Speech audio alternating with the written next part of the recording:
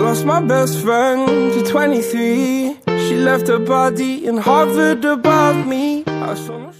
Timnas Indonesia U17 mendapatkan pemusatan latihan panjang jelang Piala Dunia U17 2023. Durasi pemusatan latihan Timnas Indonesia U disampaikan Ketua Umum PSSI Erick Thohir saat menggelar konferensi pers di Jakarta pada hari Minggu 24 Juni. Timnas Indonesia U17 ini dibentuk dengan sebagian pemain yang juara Piala AFF 16 dan kualifikasi Piala Asia U17.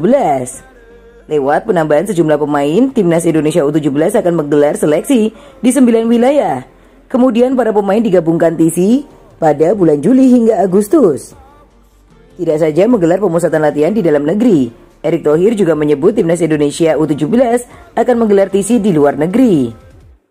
Bima Sakti kembali ditunjuk sebagai pelatih Timnas Indonesia U17 di Piala Dunia U17 2023. Thank